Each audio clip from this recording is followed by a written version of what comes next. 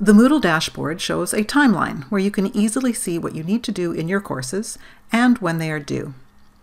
You can use the links to go directly to each activity or assignment. There is also a convenient calendar that lists all of your course events. In the block drawer on the right side is a list of your recently accessed items, making it easy for you to pick up where you left off each time you log into Moodle. This upper area of the Moodle interface or screen will always be present no matter where you are. It contains a link back to your eChannel course provider, a home link that takes you to the Moodle front page, a link back to this dashboard page, and a link to an overview of your courses. From the right side, you can toggle a notifications menu, your messaging drawer, and access your personal profile settings and other items.